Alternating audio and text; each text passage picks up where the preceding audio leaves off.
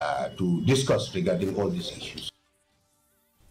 Deputy Chief Minister Preston Tinsong, along with the KHDCCM Penait Inks AIM and others, inaugurated the school building of Lightdom Presbyterian Secondary School.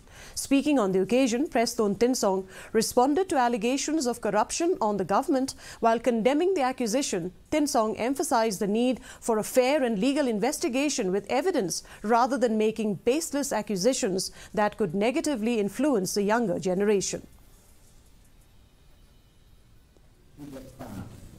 Nakabenta Usman Arhaja Te asudan ay kubliru tentang nama tabaru kiri wanda ki nosin shashnan siki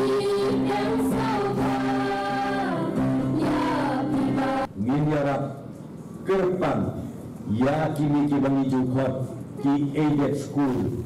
Lani ki school keran Ki banyak yang bersaudara ke ai tanda ke keran Ki ya kini rut ki kuat ban tembik dan tembiang Kamtam hati ki school Ki bak penyaki Teng-teng dekat presbytery Teng-teng dekat district Teng-teng ki mission school Ki bangi om Teng-teng dekat school Ki bak penyaki dekat snom dekat hau.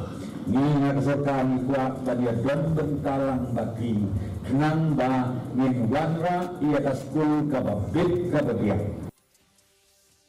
The district selection